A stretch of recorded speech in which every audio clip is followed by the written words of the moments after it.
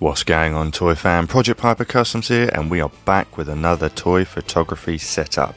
Yes, indeed, and today we're going to be taking a look at the tangible light effect known as light painting. So, we're going to be getting into how to make that magic, and of course, we won't be light painting without using. Too hot to handle, too cold to hold. They call the Ghostbusters and I'm in control, bitch. Yeah, these little bastards are not the friendliest of figures to try and pose, but in there lies the challenge, and ultimately, the challenges make us better at display posing, so can't knock it. Anyway, let's get on with it. You can skip the intro now. Get ready. I'm closing it.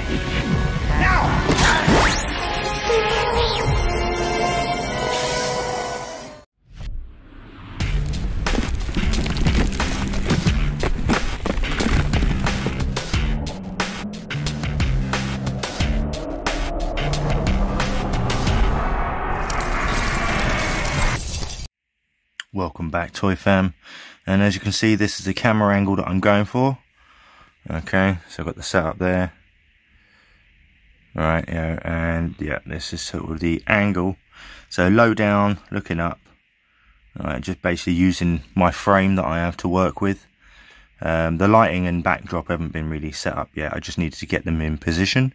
So as you can see here, I've got the three Ghostbusters trying to recreate the uh, ballroom scene from the first movie. Okay, so I've got Ray setting up the trap, and I've got Egon and Peter, and I'm going to be using light painting With the fake electronic light show. to create the uh, proton streams. And uh, let's have, have a quick look up close. So as you can see, I've got a little green light there, which is shining just behind Slimer. You can't see it well enough with the main light on, but if I kill that, it's going to get a bit hazy. So you can see it's slightly glowing here, it's really glowing on camera. There you go. So I've yet to sort out my lighting. It's just giving you a quick look at the uh, beginnings of the setup. Alright. Alright, so as you can see, this is how as far as I've gotten so far. But the uh, the remainder of the grind is I have some extra bits here to add, such as there you go. Dining room tables.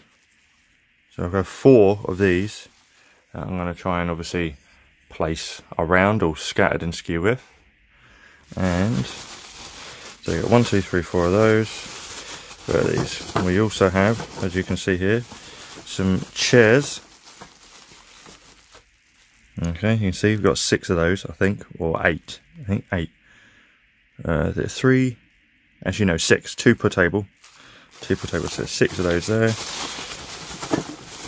And you can see here, we have some uh, plates and we've got some silverware as well, just to scatter across the floor. So some gold and silverware, got a few of those.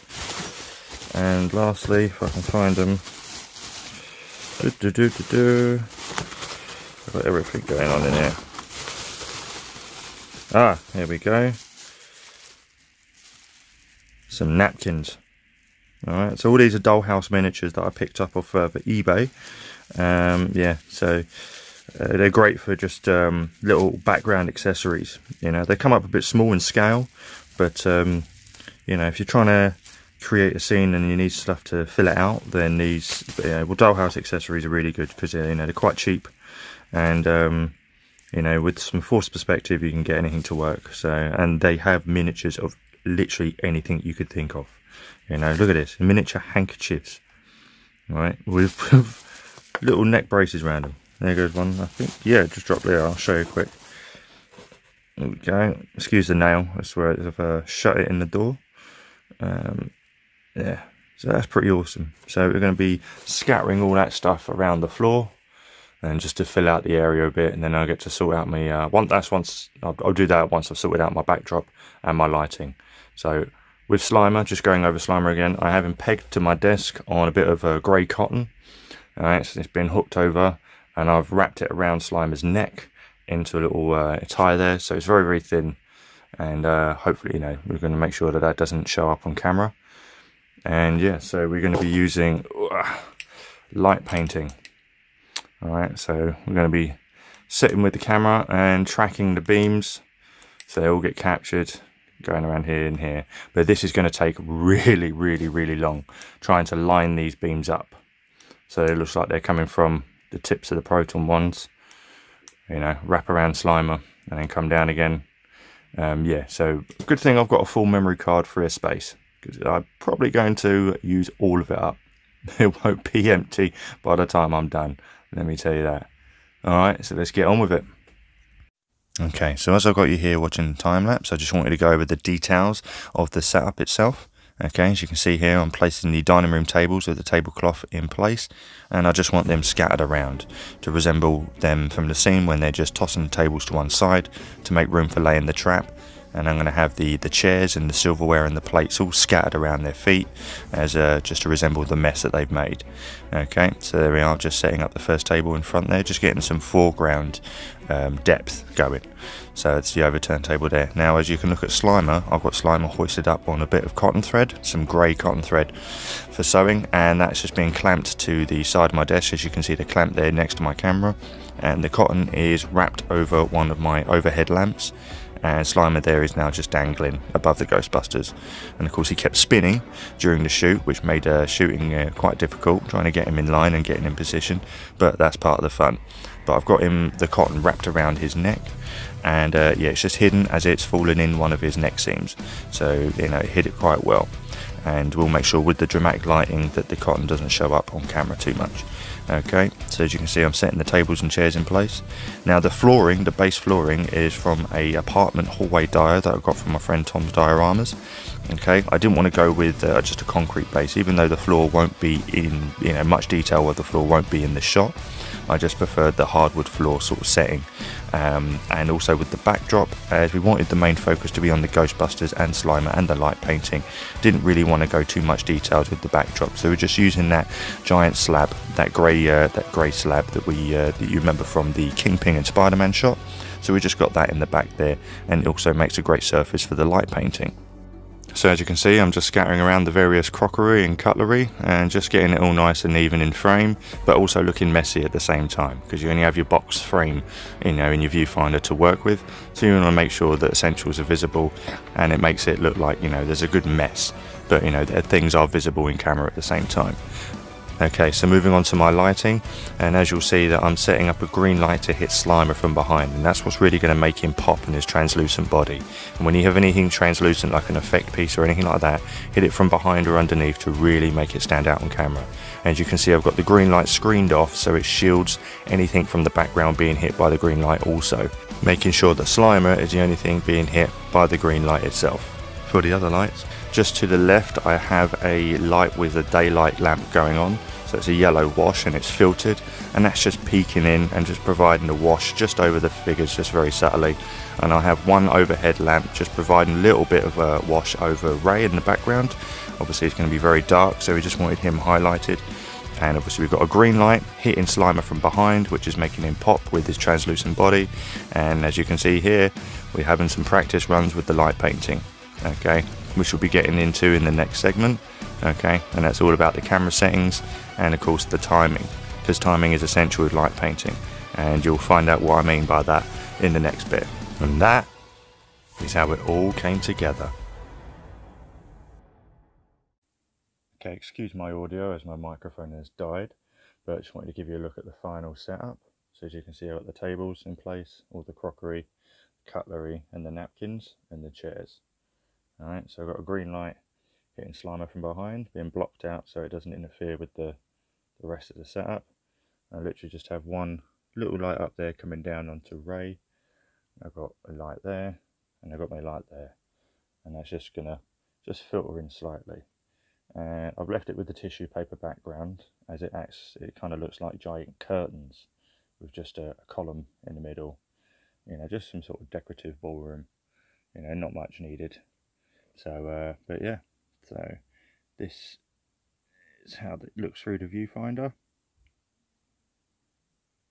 Okay, and to give you a look at my camera settings. Alright, so this is what I'm working with.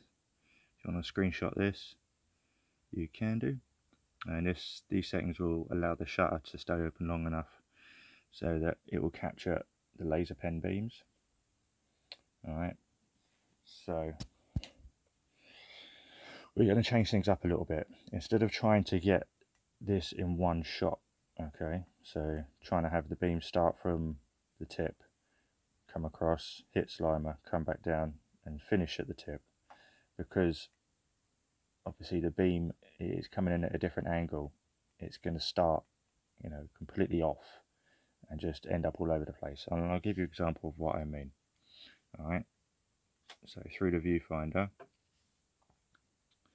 All right. So give you an example. Uh, so here is the beam on the tip of Peter's proton uh, wand. All right. So if I move it away now, get look where the beam actually starts on the wall. Up here. And if I sorry, if I use a different angle, Alright.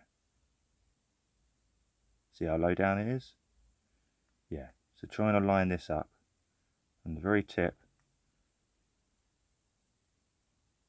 All the way across. Over to Slimer. Right there. And come back down and hit Egon. Pretty much almost impossible. Alright? It's literally a one in a million chance. So what we're going to do instead, we're going to take five separate shots. Okay, five separate shots and we're going to layer them together. Alright, so it's kind of uh, unorthodox method. Alright, still tangible with the light. But um, yeah, with a little bit of editing and it's all going to look like one shot. Okay, so nothing's going to move, the camera isn't going to move, so everything will remain still. And the only thing that will be different for each shot is the proton streams. Okay, so we're going to do one shot with the beam on the end of uh, Peter's wand. Just uh, bear with me. Yeah, there, glowing away. And the second shot, we're going to do the same on the end of Egon's tip, just glowing. Okay, and then we're going to do one on Slimer. Okay, so the proton stream is going to be hitting Slimer all over. Alright, like that and then we're going to do a full shot of the beam from behind and we're going to draw alright so we're going to start here and we're going to draw all the way up to Slimer and then we're going to do the same with Egon from behind and we're just going to draw proton stream leading all the way to Slimer as well. Well then we're going to layer the five okay? So then it will all look one neat shot okay? Like I said a bit unconventional way of doing things but you know sometimes you have to mix it up uh, when physics is not on your side. But the light work is still be tangible, and which is the aim of the whole the whole setup really. Okay, so let's get to it. So what we're going to do is we're going to demonstrate just how the uh, the beam is captured. Okay, using the camera settings. So when we hit the shutter, you'll see the delay in the uh, the shutter speed. It will stay open for a few seconds drinking all that light as you're moving it across the screen okay and then it will capture it all but that that then you'll see just how random it is and how difficult it will be just to get everything lined up but I'll give you a demonstration. So three two one.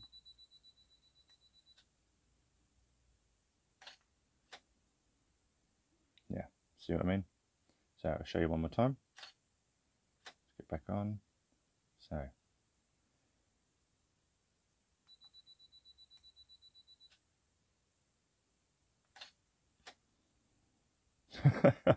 Poor Ray. getting hit in the face. But you can see what I mean. Trying to get everything lined up. Um, from Peter's wand all the way up to Slimer and then back down perfectly is pretty much a one in a million chance. Or you'll be at this all day. Okay, kind of had a little bit of a breakthrough. Okay, I found some point of references. Now, as I was saying before, if I have the laser aiming straight at Venkman's tip, all right the beam is going to start from there. Obviously because hitting the back wall it's not just going to capture it in midair. These are laser pointers. You know with regular lights they can get caught in midair with this technique but with laser pointers because they're so fast they're automatically hit in the back wall okay? So the beam can be traced but it'll be traced along whatever surface it's hitting. So of course what we're going to do is we're going to find a point of reference on that back wall all right so obviously, as I said before, when the beam is actually on the tip of his, uh, as you can see there, right? It's actually hitting the bottom. No matter which way you angle it, even from this side, you know, just, yeah, it's very, you can get it close, but it's not going to look right. So what we're going to do, all right, we're going to, we're still going to layer it, but only just by a couple, not nearly as many as before. So we're actually going to get this in one hit. All right, so we are going to aim the laser about there. So the illusion is still on the tip of his, uh, on his wand, but the beam is actually here. All right. Okay, so we're going to draw all the way around and then come back down to here. And we know that that reference point is just under this line. All right. Just under his line is there. And then we know when Slimer, being about here, that we have to go above this line. All right. So we know then to faff around above here, come back down. So we're going to start here. As this bit's on the, the black part, it's very hard to get a point of reference. So we're going to start the beam with Venkman about there. And then we're going to draw all the way around to there. Okay, well we're going to try to anyway. This still could take quite a few times, but hey, let's give it a go, right? Right. See if I can actually get this quick enough.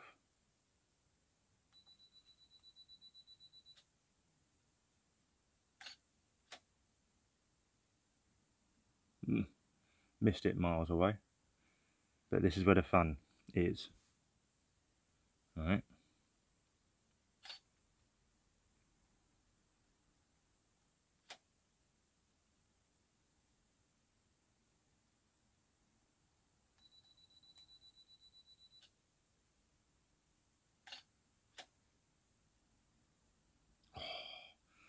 So close. It's kind of pretty much got it, apart from obviously just there where the beam breaks because obviously it's hit the wall. You can see that that wall sticks out. So obviously it's breaking here. So there is where it's broken up. Uh, as you can see. Yeah. So, but straight. Oh, just missed Venkman's wand. We're getting closer. But yeah, a few more attempts at this and we'll get it.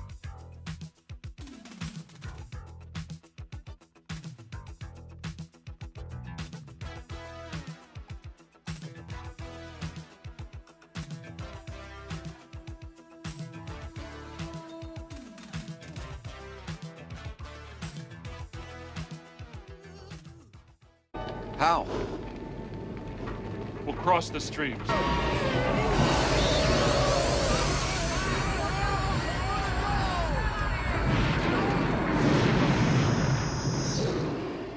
There it is. Pretty happy with how this one turned out. All the pictures seem to blend together quite nicely. And the app I used to do that with was PicsArt. A really awesome and easy to use app if you've not used it before. It's available on Android and on iOS. And simply, yeah, just drop the picture into the app, the one you want to start with first, and then scroll along to add image and then select the next image wherever you have them stored and it will drop it straight in and you can manipulate it and then once you've got it all lined up you can simply just erase away the parts that you don't want from the, uh, the, the second picture and to reveal what you had underneath and you continue this process with all the other layers until you have your final shot that you want it's pretty simple to do and it came out great so, yeah, anyway, that will do it for now, guys. Thanks very much again for watching. If you enjoyed this, then please hit the hat trick of like, subscribe, and notification bell.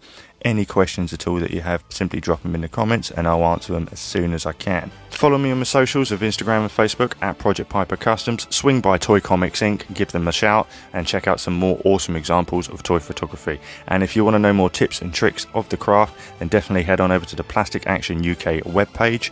You'll find the list down there in the menu. And also check out the Plastic Action UK YouTube channel, where we have more figure shooting from Carl, where he takes you behind the scenes of his latest toy shots. And we also have just started a new series with Tom of Tom's Dioramas, where he breaks down his latest dio builds. And also check out the Plastic Action UK podcast, where we break down all aspects of toy photography episode by episode and share our knowledge of each one. And that will do it from me. I'm about to have a cup of tea. And take care, everyone. Thanks again for watching, and until next time,